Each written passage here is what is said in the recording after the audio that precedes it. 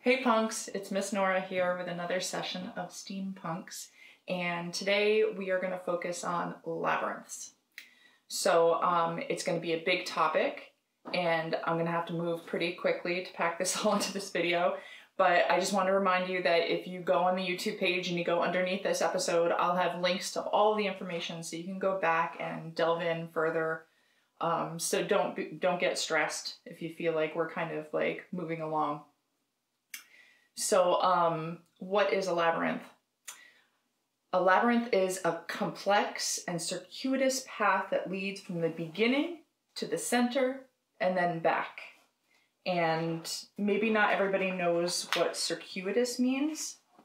So I had a little like infographic here for you. so if you were gonna go from point A to point B and go make a straight path, you would take a straight line, right? Very efficient. But if you were going to go to point A to point B and take a circuitous path, this is the kind of path that you might take, right? It doubles around, goes out of the way, does a little loop-de-loop, -loop, and you would still get to point B, but it wouldn't be the straight path. So that's what a labyrinth um, would offer. And um, there's two different kinds of labyrinths. There is a maze and a meander. Now, a maze is a little more like tricky. Like you have to have your wits about you because there are false uh, ends. You know, you end up, um, you think you're going to be able to keep going and then it's closed off, or you have to choose between going left or going right. Like it's a lot of like needing to be clever um, and making a lot of choices. A meander is a kind of labyrinth that your path is kind of um, it's not an unknown. You, you know the path that you need to walk and it's mapped out for you. And it's a very circuitous route and it brings you to the center very slowly. And then you take the same path to get out. Um, so a meander is less about um, being a challenge and it's more about contemplation. So it slows you down, causes you to be more uh, meditative and more thoughtful and to look at your surroundings because you can't, you're not going from point A to point B in a straight line. You're going the circuitous route, so you have to slow down. It forces you to slow down. Um, so you'll see uh, labyrinths often in like spiritual spaces, like um, churches or monasteries, uh, for that reason. Um, so I wanted to read you a Greek myth that's like a very early example of a maze labyrinth because it's a little scary. Um, so I'm going to read that to you now.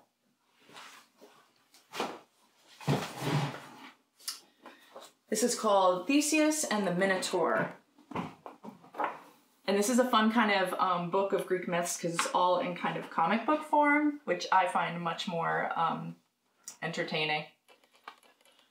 King Minos of Crete had long hated the people of Athens, for they had killed his son when he took all the prizes at the Athenian Games. To prevent King Minos from waging war against them, every nine years the Athenians sent seven youths and maidens to be sacrificed to the Minotaur, the half man, half bull that lived in the labyrinth on Crete. So there he is, pretty frightening. Theseus, son of King Aegeus, was angered by this cruelty. Bravely he offered to join the next victims and try to kill the Minotaur. His father begged him not to go with the others, but Theseus insisted and prepared to sail for Crete. He hoisted a black sail as a sign of respect for the victims, but promised to return with a white sail raised as a sign of his success. Great storms battered the little ship on its journey to Crete. When Theseus finally landed, he found King Minos waiting with his daughter, Ariadne. I hope I'm saying that right. Ariadne immediately fell madly in love with Theseus, and she resolved to save him from the Minotaur and marry him. And that night, Ariadne crept softly past the guards. She gave Theseus a sword and a ball of magic thread to guide him out of the maze. And the next day, the Athenians were thrown into the labyrinth. And once inside, Theseus ties one end of the thread to the door and set off in search of the Minotaur. The labyrinth was a confusing maze of cold, dark passages. Some led nowhere. Others took him deeper into the maze. The roar of the Minotaur grew louder, and suddenly Theseus came face to face with the hideous monster. The struggle was long and fierce, for the Minotaur was enormously strong, but Theseus eventually drove his sword through its heart, and it sank to the ground dead. Following the thread, Theseus traced his path back to the entrance of the labyrinth. Hearing the cheers of Theseus's friends, Ariadne quickly unlocked the door. Then everyone ran for the ship and set sail for Athens, and after a few days, they stopped at an island where Ariadne fell asleep. Theseus, unwilling to marry his enemy's daughter, left her sleeping on the sand. In all of this excitement, Theseus forgot to change his sail from black to white. Meanwhile, his father, King Aegeus, watched the, anxiously for the, the ship, and sighting the black sail, and thinking the worst, he threw himself onto the rocks below. As Athenian parents celebrated their children's return, Theseus mourned the death of his father.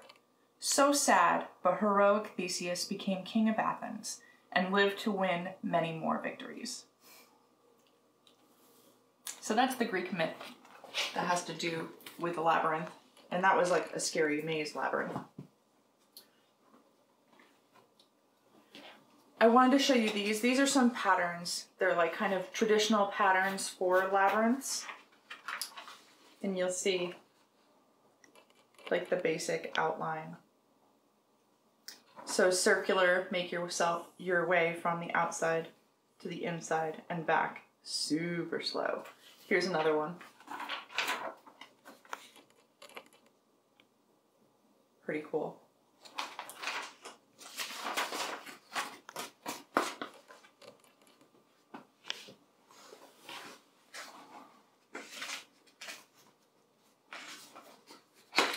So I think next we're gonna talk about all the different types of um, labyrinths that are possible. Um, labyrinths can be indoors or they could be outdoors. They can make be made out of all kinds of materials. Um, indoors, I've seen um, them painted on the floor tiles, or I've also seen people have made them out of masking tape on the floor, which is something you could do at home. An outdoor labyrinth, I've seen them made out of natural materials like bushes and flowers and trees um, stepping stones, um, grass. Uh, yeah, pretty cool. So I have three or four examples on my computer that I'm going to show you guys. They're all a little different, so I think that'll be fun for you to see.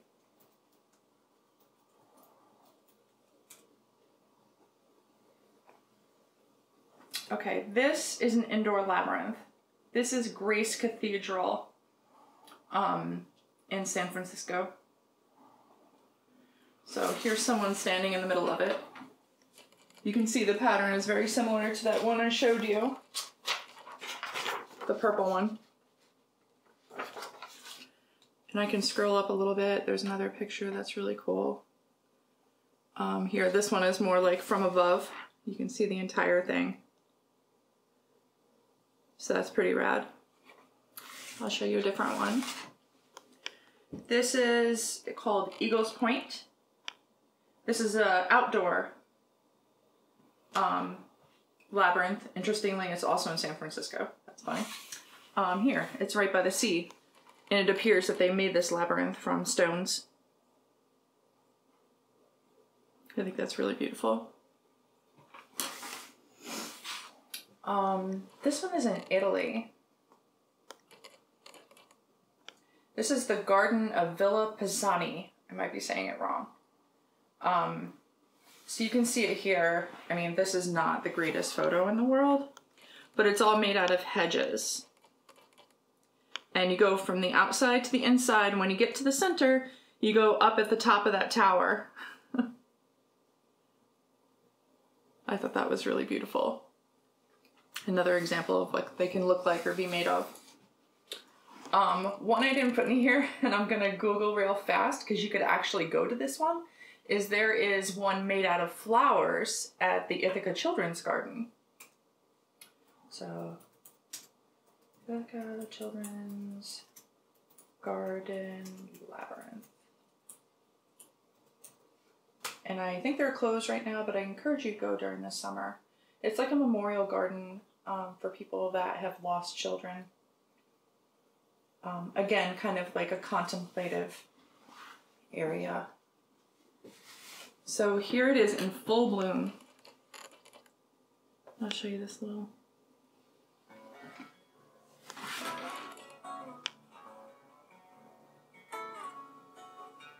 Bulbs symbolize hope and the cycle of life. Labyrinths have been used for centuries by many cultures around the world to promote healing and meditation. The labyrinth at the Ithaca Children's Garden is a beautiful, peaceful, uplifting, and sensory experience for all to enjoy in times of great joy and in times of grief. The labyrinth provides room for community engagement and healing and allows individuals to bring their own interpretation and meaning to their visit. In the spring of 2011, the Ithaca Perinatal Loss Support Group approached Ithaca Children's Garden about creating a space to remember babies and children who have passed while celebrating the lives that carry on.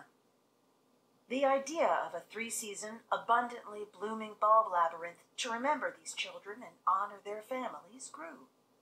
Many people don't realize that birth tragedies, including miscarriage, stillbirth, and neonatal death, affect nearly 900,000 families every year. It's a tough subject to talk about, and sometimes there simply are no words.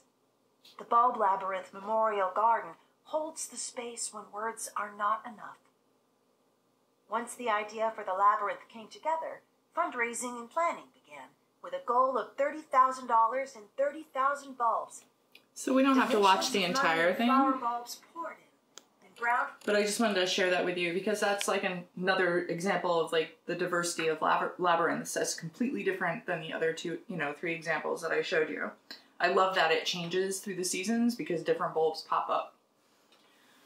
Um, so if you guys ever seen Labyrinth the movie with David Bowie and Jim Henson's puppets, um, if you haven't, you should see it. Beth, we should put that on our Amazon order because I don't think we have it at the library. Um, I wanted to show you the drawing by M.C. Escher that was that inspired the labyrinth in that film. This is called Relativity, and I think it's really cool. It's kind of like gravity defying kind of fantasy scape.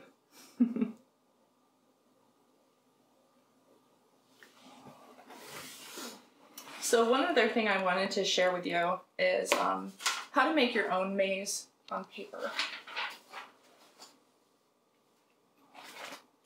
Because I was trying to think, like, is this something we could make ourselves? And sure, if you can't do it outside and you can't do it inside, you can do it on a piece of paper. So here's the instructions that I have, and if you guys want to pause and get a piece of paper, that's fine too. For some reason, I'm not seeing my one notebook, but that's alright. Use this one.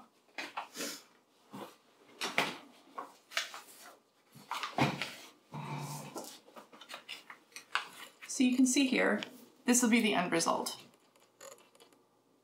And this is where you start. So we start with a big square. And you have an entrance and an exit. Right? Make a little. Then you have another square on the inside. And you make another entrance and exit, right? In a different spot. So you go along that same vein. Here's the next one. You made a third, you make a fourth box. with the entrances and the exits.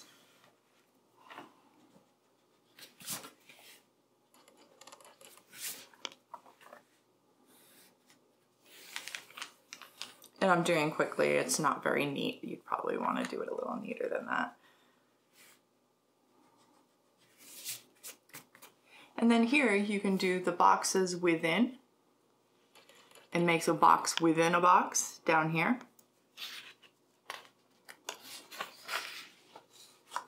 And eventually what you want to do is lightly use your pencil to trace out the route, the correct route through your maze. And then when you do that, you would go around and close off all the other possibilities so that you can only go through that one way. And in the end, what you would probably do is erase that right path so nobody can see it. And maybe just redraw the whole thing so that it's not obvious where your path is. But this was one method of drawing your own maze that I thought was really doable. Um, and I'll include that in the show notes too so that you can get a better look at it and try it yourself. So the only thing left that I really wanted to do with you guys is I wanted to introduce you to my own outdoor labyrinth. um, so I just want you to know that how it's made is Mr. Nora went with a lawnmower and mowed a maze through our, through our meadow. So generally when our property is all grown, you know, like in the summer months, the um, meadow is very high and then the mowed parts are very low, so it's very obvious where the path lies. But right now we're just coming into spring, so all of the grasses are all laid down, so it's a little rough to see where the path is, but I'll show you where the path is. Um, let's look for some signs of spring. So this is the beginning of the labyrinth. How you know is because there's a stone lion. but there's actually three more lions in here too. All right, let's go. This is Tig. Come on, baby.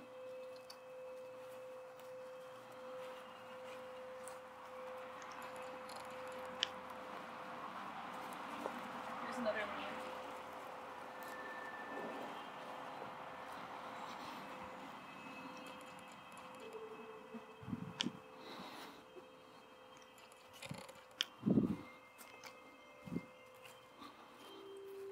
So here's a sign of spring. Here's a crocus.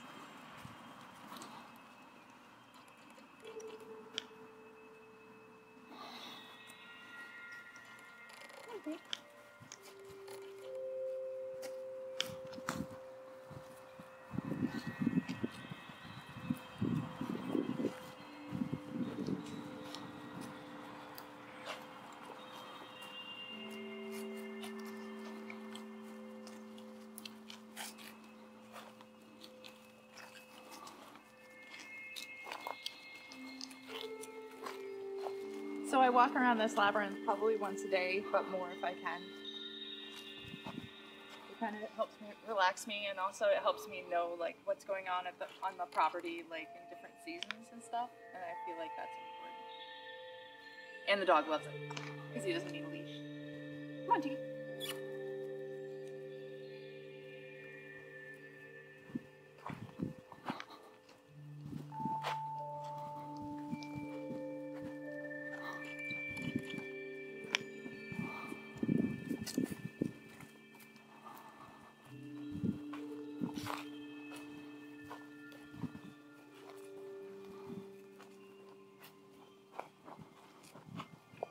Passing another line.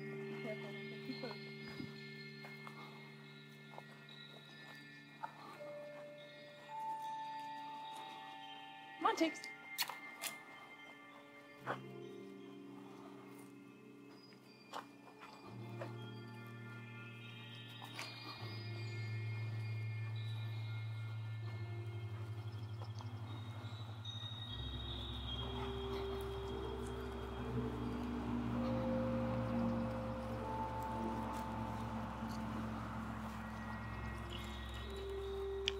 I also think it's fun in the labyrinth at different times of day to see where the shadows lie.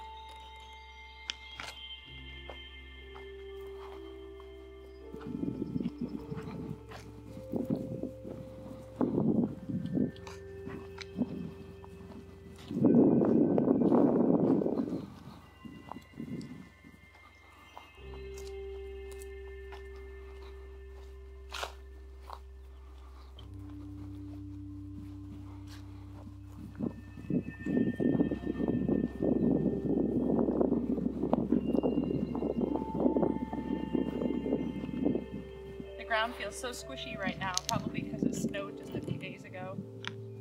It hasn't had time to sink in.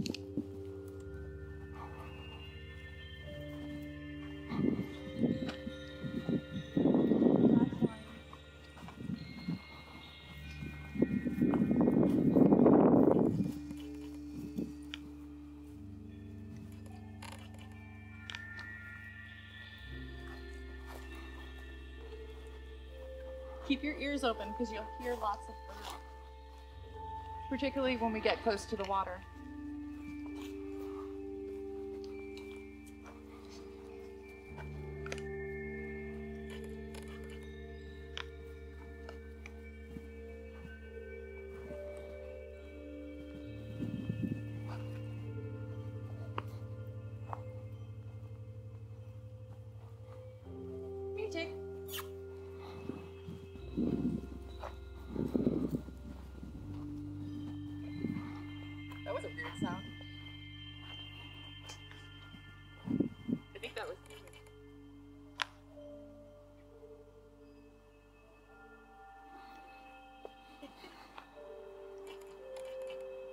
Tate. Don't worry about it.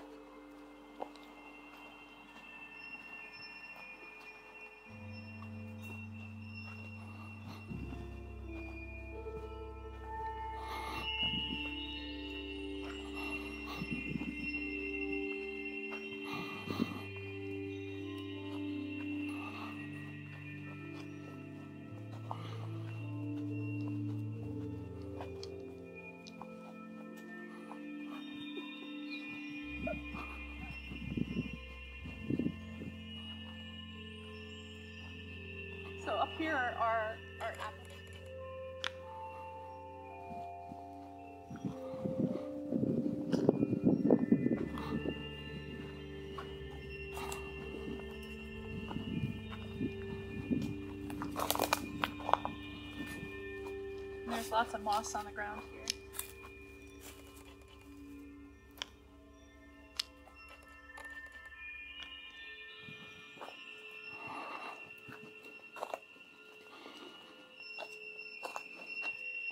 Tiggy always cheats on the, the labyrinth and walks in between.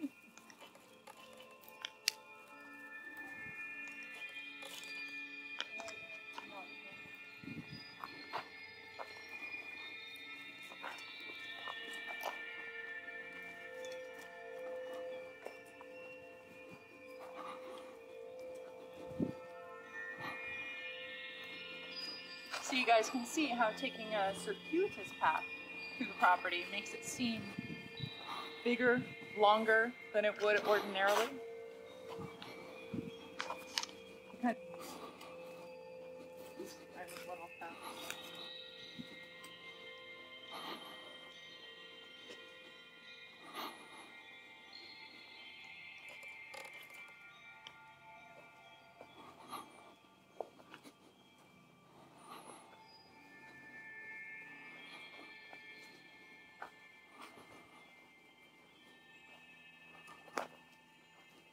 I love how Tig's following the camera and not me, like he's part of the crew.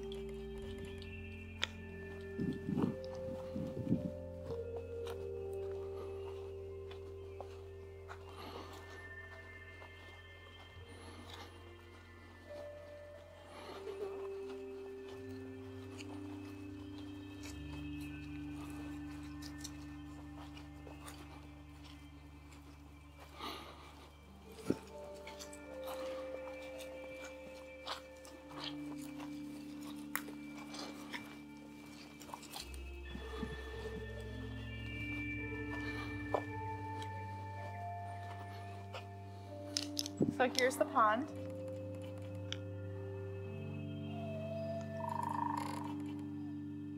That sounded like a woodpecker.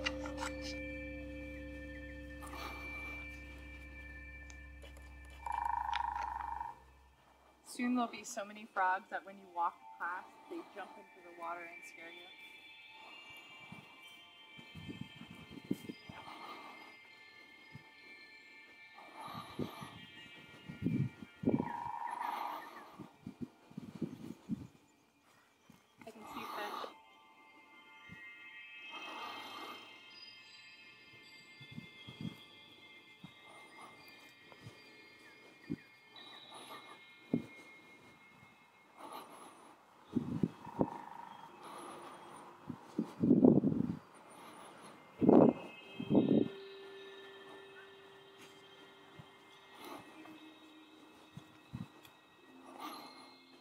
Oh, here's another sinus ring.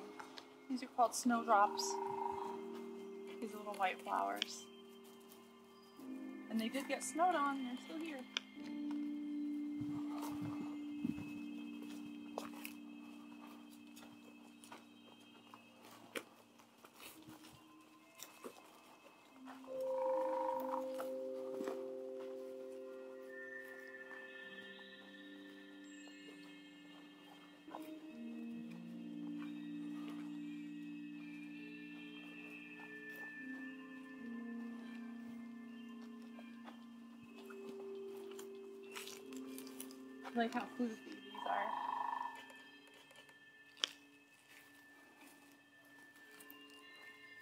These are cattail seeds.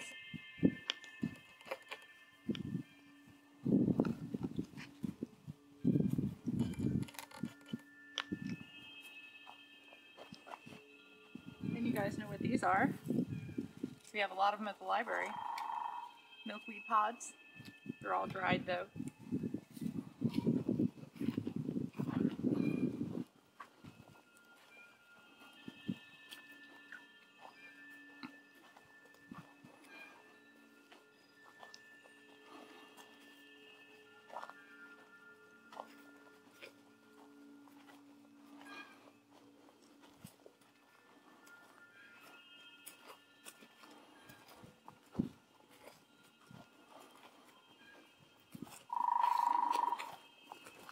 So we're gonna begin our walk back. Um, so I think I'm gonna say goodbye to you right here. Um, I miss you guys terribly. I can't wait to see you again in real life. Have a good night, guys.